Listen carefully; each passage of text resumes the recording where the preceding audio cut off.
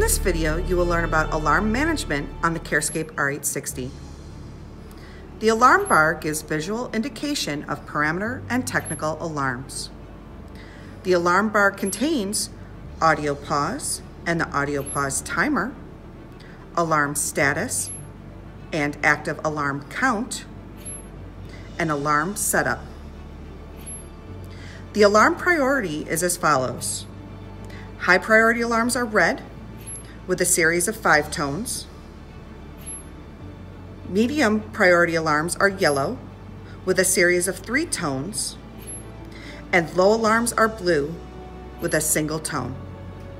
The alarm setup menu contains apnea time, alarm light brightness, alarm volume, high alert audio, alarm limits, and auto limits.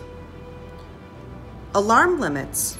Select the checkbox to show alarm limits adjacent to the measured data in the patient data workspace. The alarm limit always shows when an alarm occurs for the measured data, even if it is set to off. For auto limits, select the auto alarm limits based on current measured data for expired minute ventilation, low and high, expired tidal volume, low and high, expired rate, low and high, end tidal CO2, low and high, and expired PEEP, low and high. To adjust your alarm limit settings, select Alarm Setup. Select either the low or high alarm limit and then use the trim knob to adjust the setting.